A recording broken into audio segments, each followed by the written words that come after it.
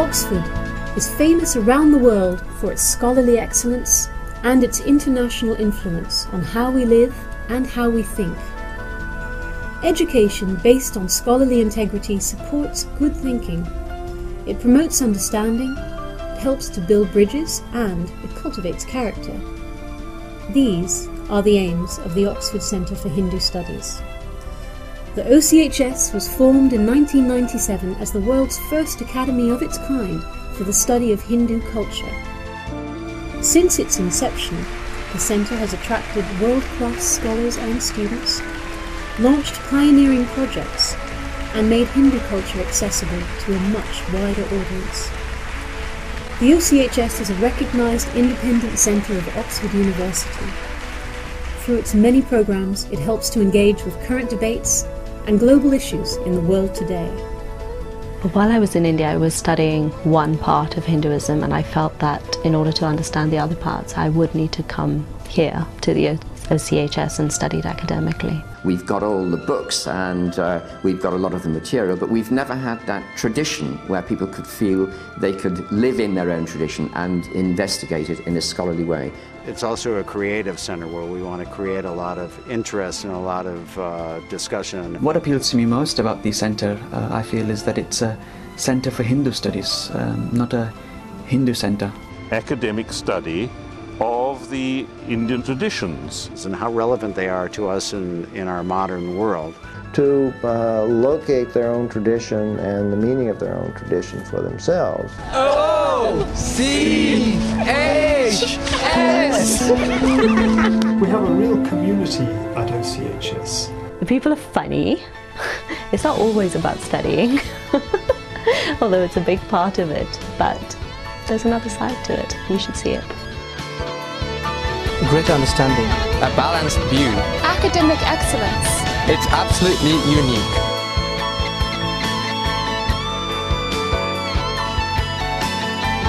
It's a three-pronged system. The Oxford Centre for Hindu Studies is an intellectual home to people from around the globe who are interested in the long and rich history of the Hindu tradition.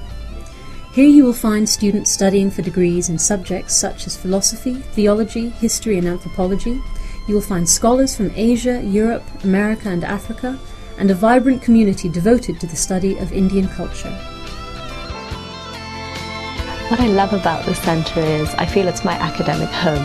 Outside!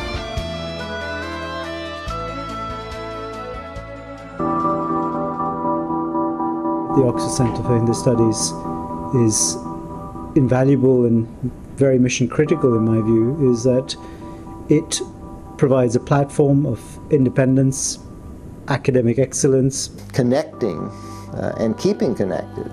It's really about connecting. Maybe connect for the first time with their own tradition in some way that, that, that makes sense to them. Oxford has a very great tradition in theology of the study of the Christian tradition.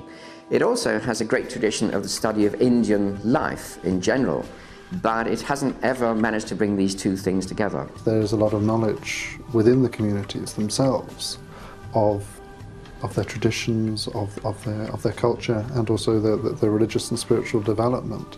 But it's, it's, a very diffuse knowledge. I think it is very difficult for young people to have access to impartial accounts of what Hinduism is about. To translate it to another generation and to future generations of Hindus living in Britain before it's too late, basically. There are so many young people that have questions, and I, and I feel there are not enough people out there with the answers. And we do, in fact, offer courses which concentrate on religion in a way that no Indian university does. University educated people um, who are asking questions of their parents, who are asking questions of their, of, of their grandparents, their, their, temple priests. What does it mean to be a Hindu today? What are the, the, the answers to the questions? And so there's, there's a gap in the center.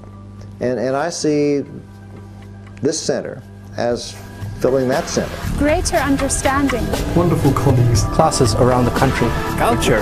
Building bridges. Global understanding.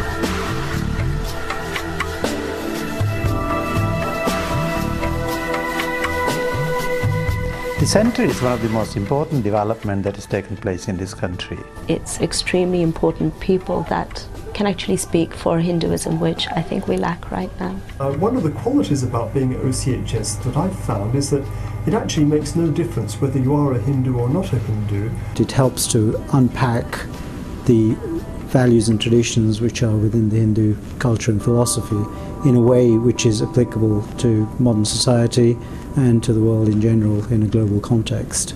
It's a creative center. You know, we want to create uh, new literatures, we want to create discussion, we want to create scholars. We even sometimes maybe want to create some controversy or to confront some controversial issues. As India is progressing rapidly towards economic development, what it's losing very rapidly also, it's its sense of identity. And what you're seeing over a period of time is the need for the cultural and religious identity to be preserved. Tradition that stretches back many millennia and it's giving back so much to the world in many different fields. But I feel if more people did this, it would be something huge to give back to the community. I love studying Hinduism because it gives a holistic picture of the world. I couldn't study Hinduism academically in India. I had to come to Oxford to do it. Without OCHS, I couldn't have done it. The Centre for Hindu Studies offers a very new and exciting possibility which we haven't had in Oxford before, and that is that there will be a scholarly study of the Indian tradition by people who are acquainted with it, who are committed to it, and who are interested in uh, exploring it. I wanted to come and study Hinduism because it was an opportunity for me to put my own faith under the scrutiny of scholarship and to come back and reflect upon that and make a more articulate, meaningful contribution to the world.